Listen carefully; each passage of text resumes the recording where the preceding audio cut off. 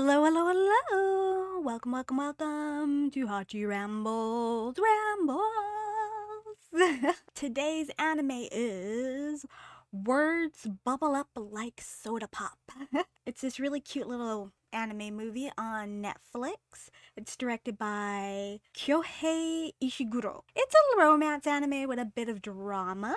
And the animation is beautiful, you guys. Beautiful. Now, this movie is about a boy, a shy boy named Cherry, who loves haikus, and a girl that's self conscious named Smile who also, well, live streams.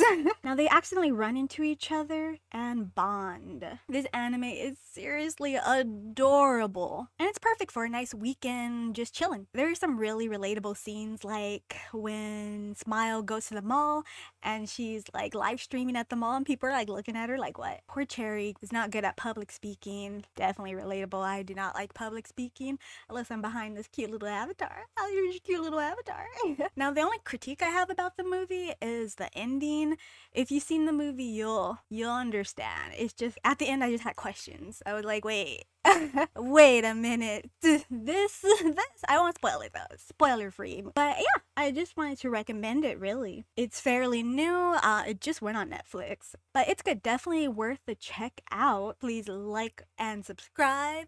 Thank you and peace out. Uh, woo.